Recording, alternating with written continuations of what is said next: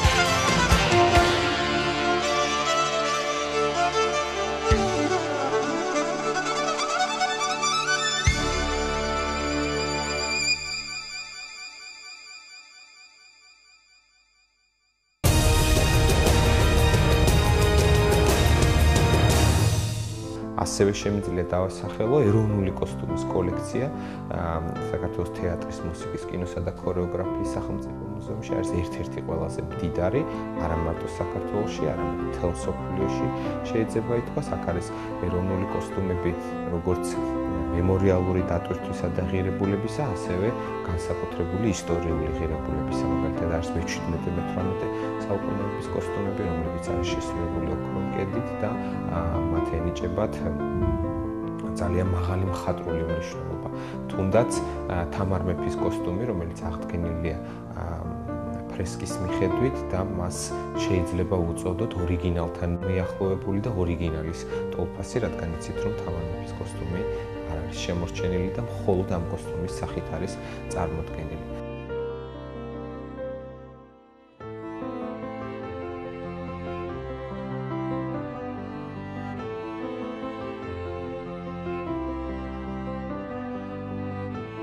ფონდში ექსპონირებულია სხვადასხვა კოსტიუმები ქართული ფილმებიდან.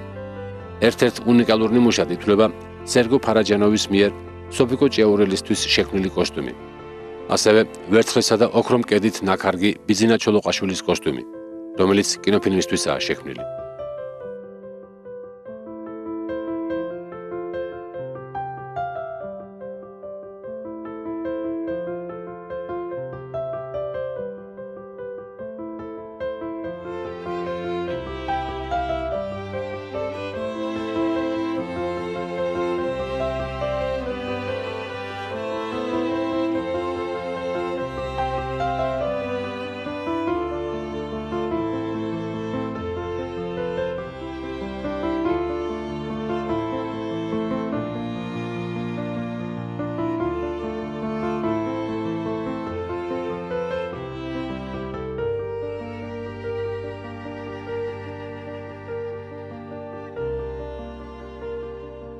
გამოფენილია მე-19 საუკუნის ნაქარგობის ნიმუშები, რომელთა წარმომავლობა ცნობილი არაა.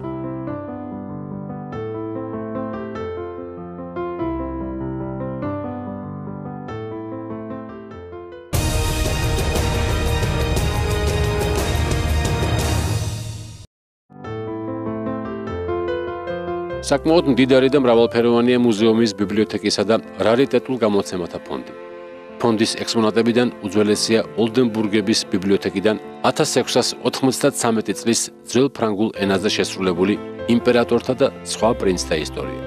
აქვე ინახება ბიბლიის ერთ-ერთი ძველი გამოცემა, ასევე ერეკლე მეფის სტამბის წიგნები. მრავლადაა წიგნები ცნობილ ქართველთა პირადი ბიბლიოთეკებიდან. ვეფხისტყაოსნის ძველი გამოცემები. უნიკალური ნიმუშადაა მიჩნეული შექსპირის ტრაგედიები. იოანე მაჩაბლის ნათარგმნი თავისივე შენიშვნებით. ფონდის ძირითადი ნაწილი შედგება წიგნებისაგან ქართულ და რუსულ ენებზე, თეატრის, კინოს, მუსიკის, ქორეოგრაფიის, ხელოვნების, ისტორიისა და რელიგიის შესახებ. ინახება უძველესი საგალობლები საქართველოს სხვადასხვა კუთხეში შეგროვებული.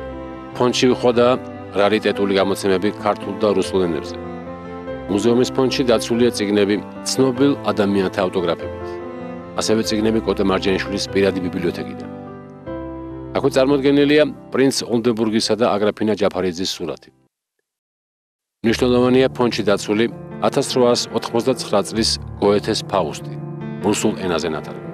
აღსანიშნავია შალვა დადიანის საწერი მაგიდა მისივე სკამით. მუზეუმს აქვს უმდიდრესი ხელნაწერთა ფონდი, აქ დოკუმენტების რაოდენობა 36000 აჭარბებს და არის როგორც ვთქვათ, პირადი არქივების სახით წარმოქმნილი, ასევე არის ეგრეთ წოდებული უნიკუმები, მაგალითად არის მე-14-მე-15 საუკუნეების ლიტურგიკული კრებულის პერგამენტზე შესრულებული ნოტები, რომლებიც უფრო სწორად ნევრმებსა და ნოტებს შორის გარდამავალი ეპოქა და სოფლიო მუსიკალური ისტორიებისათვის ისტორიისათვის მას განსაკუთრებული მნიშვნელობა ენიჭება. აქ ინახება ზაქარია ფალიაშვილის დაისის ორიგინალი, სანდრო ახმეტელის თიძე ჩამოსათვლელი შემორჩენილი ხელნაწერები აქ არის ნატო ვაჩნაძის, ნინო რამიშვილის, აკაკი ვასაძის, სერგო ზაქარიაძის და სხვათა და სხვა, ვინც კი წარმოგიდგენიათ, რომ ქართული ხელოვნება წარმოაჩინა, ყველა მათგანის ღვაწლი სათანადოდ არის ამ მუზეუმში ასახული. ხელნაწერთა ფონდში თავმოყრილია საქართველოსი მცხოვრებ მწერალთა, საზოგადო მოღვაწეთა და ხელოვნების მუშაკთა ხელნაწერები. ფონდში დაცული არქივები მდიდარი და მრავალფეროვანია. ხდება როგორც პირადი და საქმიანი მიმოწერა, ისე ჩანაწერები, სცენარები, ღიურები, ლექსების კრებულები, პიესები, სანოტორიულები, პარტიტურები. აქ ინახება ვაჯაბ შაველას, აკაკი წერეთლის, გალაქტიონ ტაბიძის, იოსებ გრიშაშვილის, ივანე მაჩაბლის ხელნაწერები. ასევე ვანო სარაჯიშვილის, აკაკი ხორავას, ვერიკო ანჯაფარიძის, სესილია თაყაიშვილის არქივები. გარდა ქართველი მოღვაწეებისა, ფონდში უხვადაა დაცული უცხოელი მოღვაწეების პეტრე ჩაიკოვსკის, თეოდორ შალაპინის, გიორგი შოსტაკოვიჩის, იოჰან შტრაუსის ხელნაწერები. აქ ინახება თბილისის სახაზინო თეატრების უნიკალური პროგრამები. თბილისის ოპერისა და ბალეტის თეატრის პროგრამები, რომლებიც აბრეშუმის ფერად ქსოვილზეა დაბეჭდილი.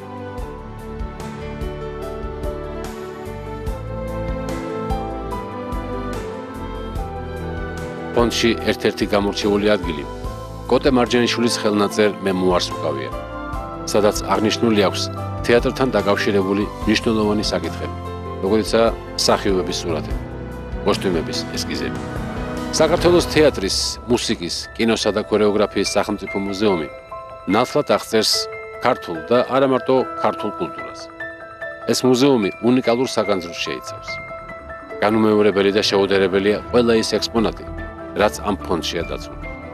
აქ წარმოდგენილი ნივთები სრულიად ასახავს ქართული თეატრის, კინოსა და ქორეოგრაფიის განვითარების ეტაპებს.